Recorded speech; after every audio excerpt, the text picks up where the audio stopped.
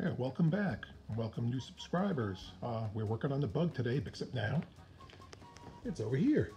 It was out of its spot where it was stuck for months, and now it's back on the lift where we can put it up and down and make it a little bit simpler to work on.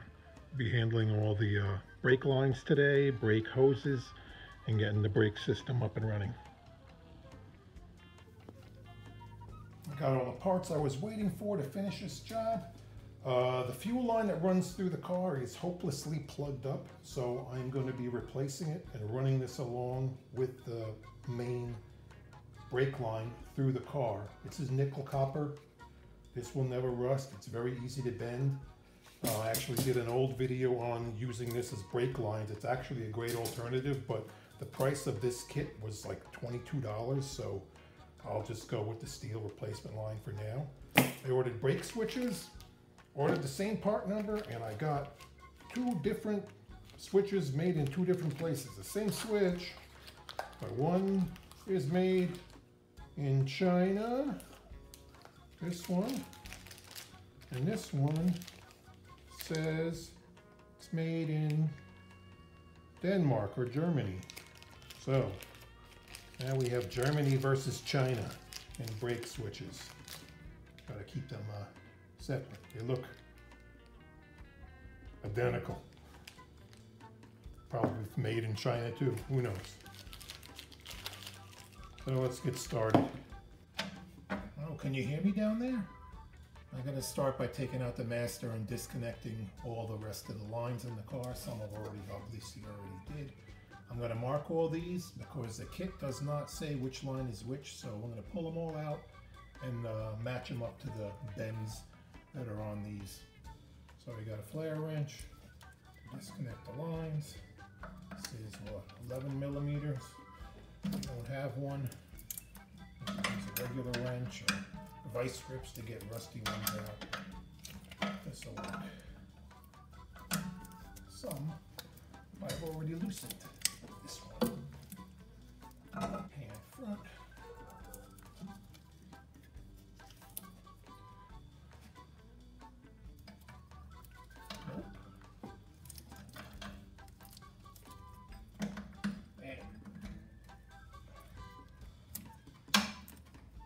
Drop. Start on the rear ones now too. I marked them wheel cylinder side. Once you get it out of the car, you might be looking at it and you forget which one it, what it looks like. So I know that way goes to the wheel cylinder. And that's not turning. You need a vice grip to hold the line. There you go. Any fluid? Not a drop. Look, I did find some brake fluid on the right rear. So the rubber line's gonna have to come out and it goes to, I don't know if you guys can see, there's a little junction block right there that's bolted in. And then that turns to the metal line in there.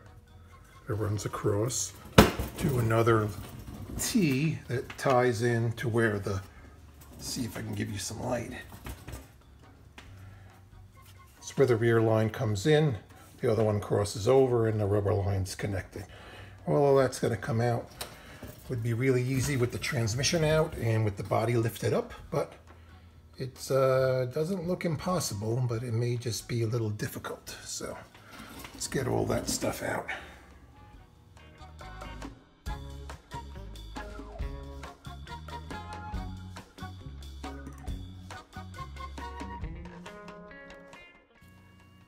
For the main line where it comes in, the only thing I get in there was with a crow's foot uh, flare wrench.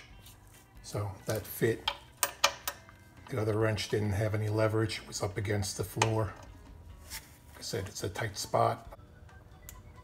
Okay, I got the 10 millimeter screws that are holding little junction blocks in place on either side of the car. And there's a clip that holds that brake line that crosses over the top of the transmission right over there. So I got to bend that back and then pop the line uh, off of that.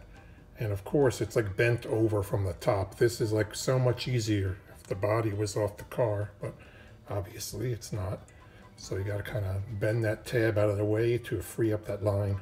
The tab is bent down and I kind of wiggled the line back over the top. I don't know if I'll be able to hold this and show you at the same time, but we will try. Move the line over transmission and then you could pull it back down. I left the junction blocks attached. It's really hard to get in here when they're in the car to uh, try to loosen these. So I'm just going to leave them attached, obviously bend the line up, and I'll fit it back and forth with these pre-tightened when it goes back into the car. All right, now we got to get inside, release all the clips that hold the brake line coming through the car. Lift some carpeting out of the way. Got a binder clip. Hold it up.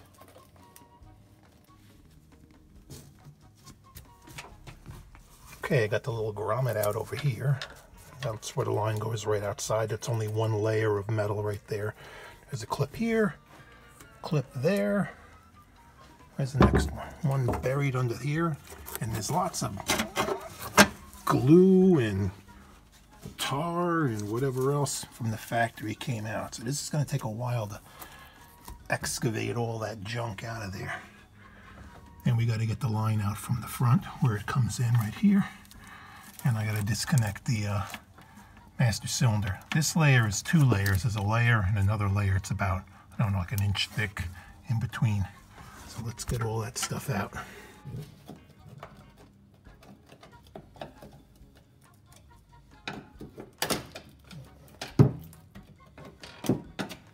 hard in place.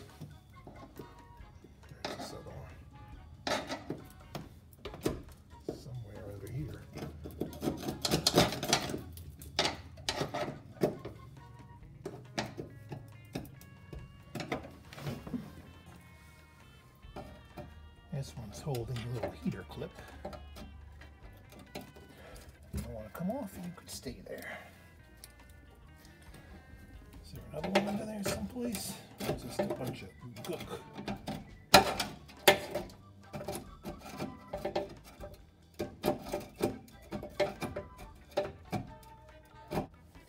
It's hammer time.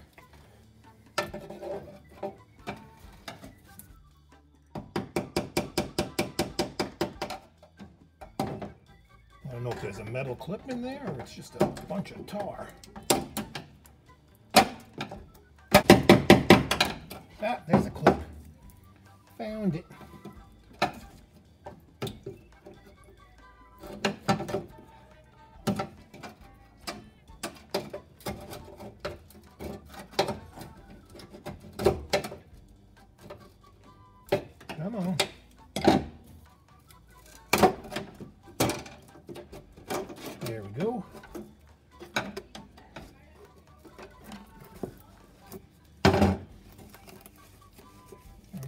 There. Yeah, I see a little rusty thing over there. That should be the clip right there.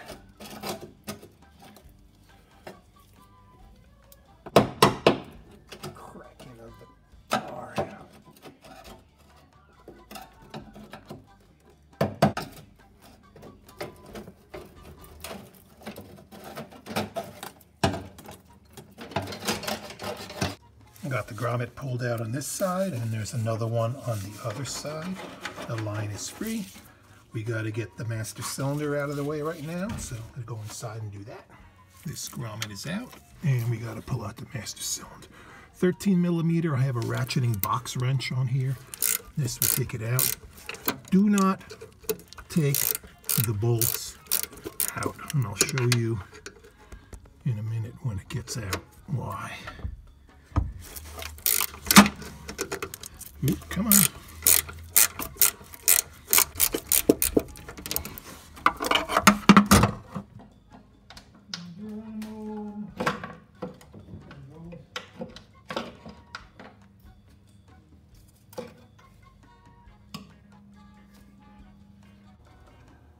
There are little sleeves inside that gap that the bolt goes through. Now you pull the bolt out and the little sleeve will fall down. So by leaving the bolts there, they all stay in their uh, happy place. Give you a flip over here, see? There's a piece right in there. You got to get the boot off of there too because it's still stuck on the other end and I'll clean this stuff up before the new master goes in. Maybe get a little coat of paint around here too on some things. Neaten it up. Okay, the line is all loose. I'll try to get it out of here in one piece. I'm going to need to disconnect this so I can bring the line, kind of bend it and flex it up. So let's get that unhooked. That's out of the way. Now, let's see if this will come out.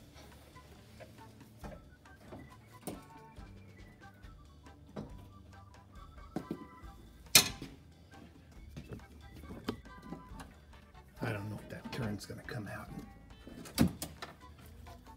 Gotta just straighten this bend out and pull it out. Or just cut it off. I think cutting it will be the best option. Well, here's the easiest way to get it out. Snip!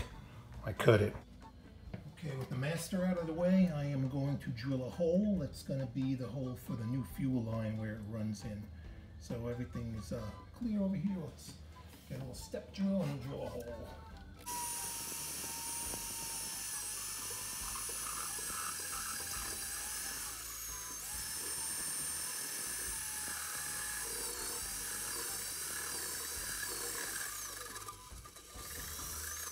Is going to be a quarter inch, but I am going to sleeve it with a piece of rubber hose to keep the line from jiggling around. So that's probably right where I need to be.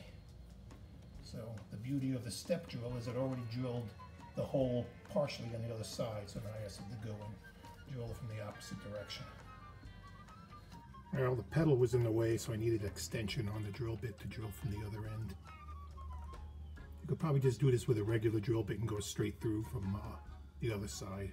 Okay, all the lines are out of the car. They're all marked for their location and which direction they're heading. And all of this needs to be bent into this. We'll be doing that next time. In the meantime, I painted the floorboards and any other areas that I had access to when all this stuff was out.